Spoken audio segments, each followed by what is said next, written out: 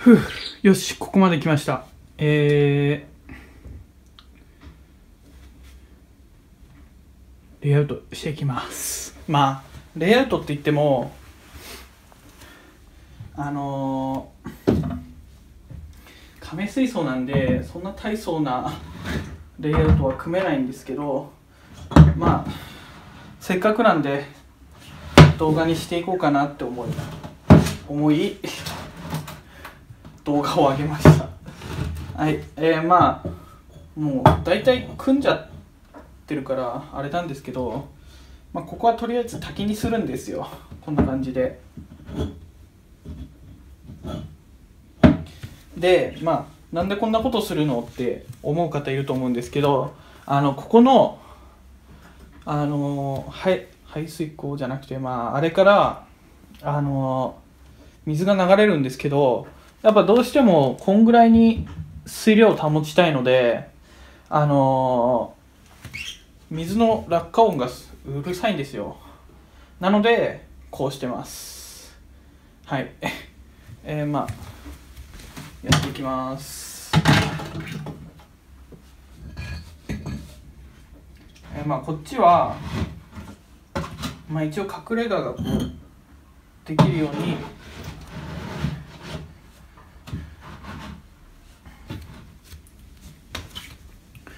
こんな感じでレンガを2つ置いてあげます。で薄いレンガを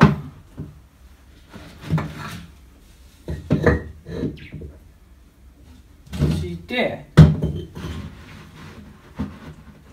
で階段を作ってあげれば完成ですね。もう一瞬です。一瞬です。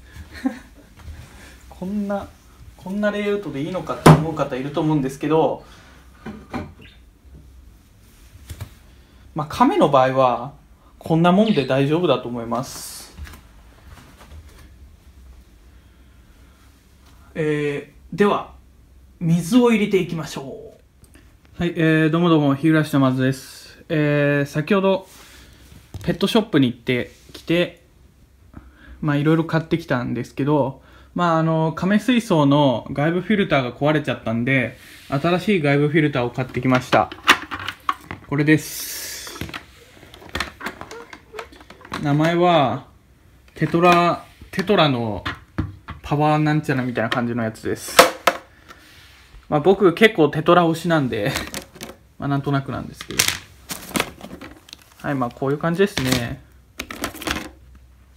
三段構造になってます。はい。意外といいんじゃないですか？いやー、昨日まさかの、あれが、なんだっけ？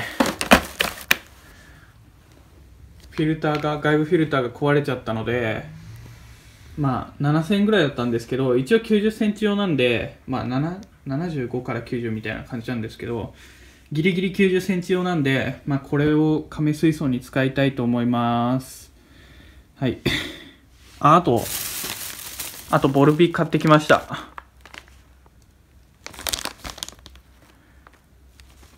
これも近々動画にししたいと思います。では。はい、えー、注水が終わりました。で、新しい、あれです。まあ、これを、ここに刺します。えー、つけられないんで、直接口で吸います。空気を入れ込んだらこの電源を差し込めばよし。どうだ？お！出てますね。お！水量も結構あります。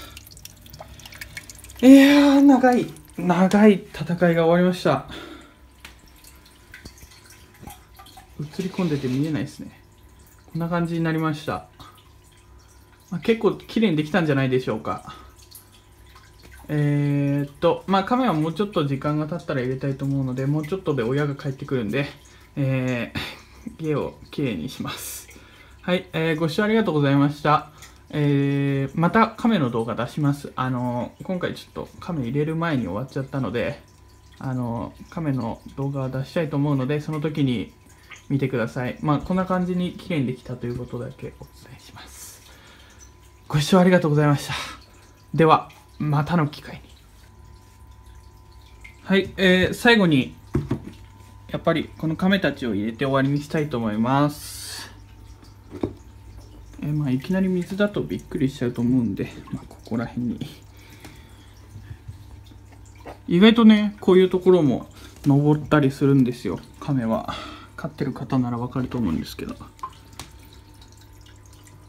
い。まあ、こんな感じで。はい。